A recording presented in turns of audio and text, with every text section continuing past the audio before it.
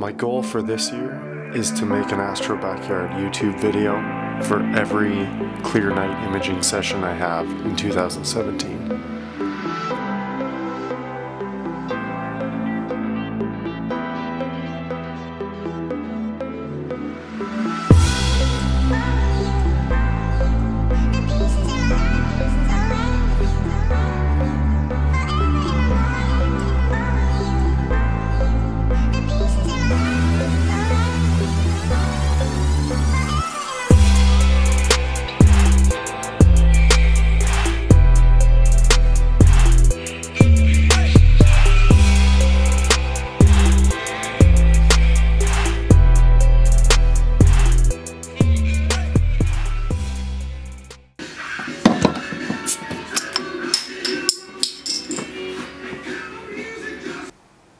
Hi everyone, this is Trevor from astrobackyard.com. Tonight I'm going to be trying out some new astrophotography equipment here in the backyard and uh, I'm going to be imaging the Rosette Nebula, one of the most beautiful deep sky objects in the winter night sky. So well, I would like you to join me uh, as I trade sleep for images of some of the most breathtaking objects that one can ever see. So the first piece of new equipment that I'll be using tonight is this new auto guiding camera. Well, that's what I'm going to be using it for anyway. It's a, a it's a CCD mono camera from Altair Astro. Uh, it's called the GP Cam. And uh, I just noticed here it says do not plug camera in until drivers are installed, so I'll definitely do that first. But let's take a look at the camera.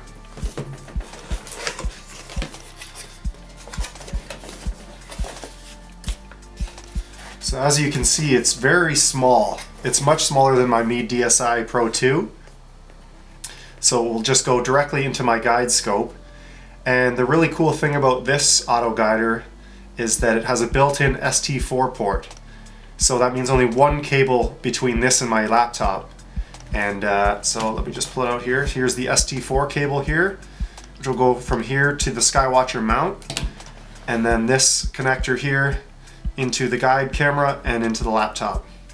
So it's uh, also just being very lightweight and small is uh, advantageous too. You want uh, you don't want to add any extra weight if you don't have to to your rig. So I'll be trying this out tonight using it.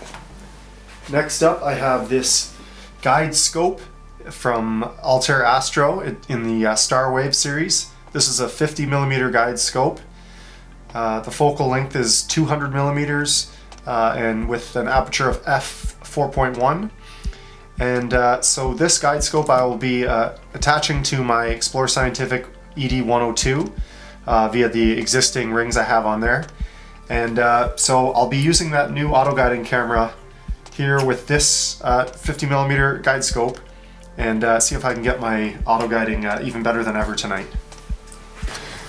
So I'm just having my first look here at the uh, images coming through the new auto guiding camera and uh, I can already tell it looks so much better than the Meade DSI. What a smooth image. I haven't built a dark library yet but uh, uh, I'm just adjusting the focus which is also super smooth. I've just got a three second refresh rate. I'm going to change it to a second and a half. So connecting the camera was actually very straightforward. I did have to download the latest version of PHD2 guiding. Uh, and then when I did, I was able to select the Altair camera, uh, the exact model I have here, and then the mount is on camera. Uh, so they're both connected now. So it's a bit different than I was than I was used to with the Meade DSI and the uh, Orion 50 millimeter.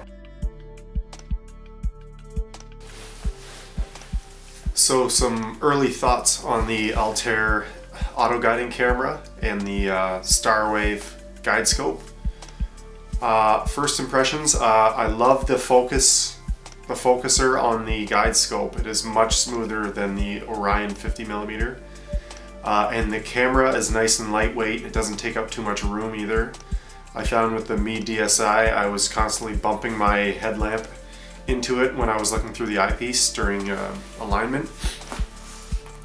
And then, so I downloaded the drivers for the camera, which were very straightforward online.